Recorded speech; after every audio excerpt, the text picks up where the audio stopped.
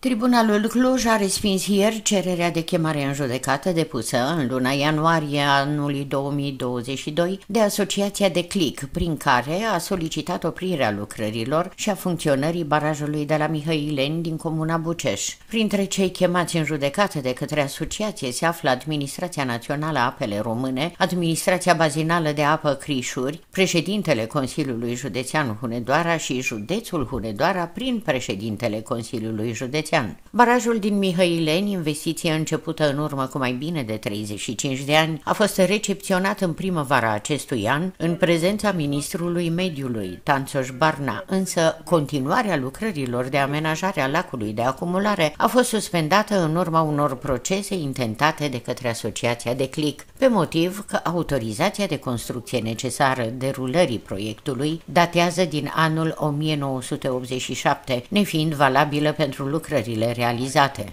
Tribunalul Cluj a respins ieri cererea Asociației de Clic, prin care a solicitat oprirea lucrărilor și a funcționării barajului de la Mihăileni, dar soluția completului de judecată poate fi contestată, ceea ce înseamnă și mai mulți bani cheltuiți, dar și mai mult timp pierdut, de parcă 35 de ani n-ar fi fost de ajuns.